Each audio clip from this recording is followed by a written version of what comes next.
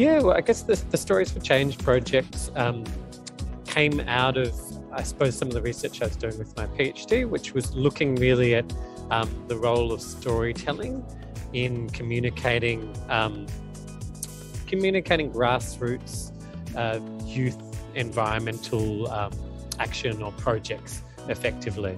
Uh, and some of those influences were um, there's a great book by Paul Hawken called Blessed Unrest, and others were, were looking at, I guess, how do you visualize social change? How do you um, elevate the stories of, of all these sort of unseen, you know, volunteer run,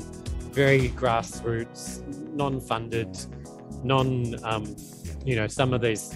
groups mightn't even have a website or a name for their project, but they're just being active in their own communities. Um, so, how do you support um, them to tell the stories of what they're doing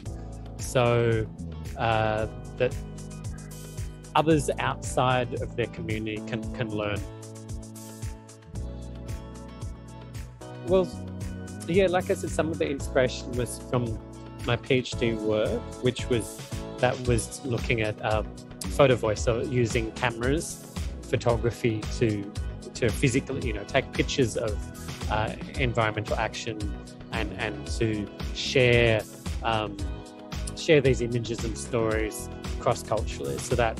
that action research was based in Australia, Bangladesh, and China. Um, so that some of that inspiration is really, I, I guess,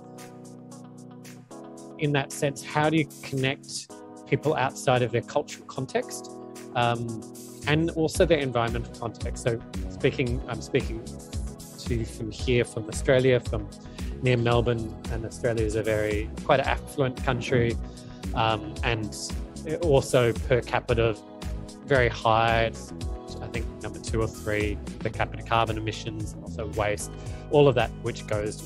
with an affluent developed country. So I was interested in, you know, working with young people in, in this country that ha- have a lot of, um, yeah, I guess high environmental impact. Um, how could some of what young people doing here around um, environmental work, how could they be learning from, say, youth in Bangladesh, which on the other side, um, you know, is, is a very climate vulnerable country, but also has very low impact uh, carbon emissions. I guess I would probably call it it's, it's action research. I would call it particip- participatory action research, though it's probably not as formally done um, as you know I, I, I, did in my my PhD because it doesn't necessarily have a specific um, uh, you know academic frame framework, but that's probably the the the closest. Uh, the main one has actually been been people retention of people being involved in the project. Because when you've got a, a participatory project like this that you know um, it relies on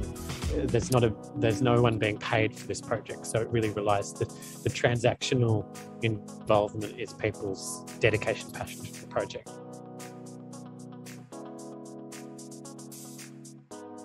think one of the key ones is is, is reflecting from what I said before is really the importance in online with online organizing to really look at the relationships and and to make sure that you're really aligning the people that are being involved that they're that there's a real alignment between their interests and the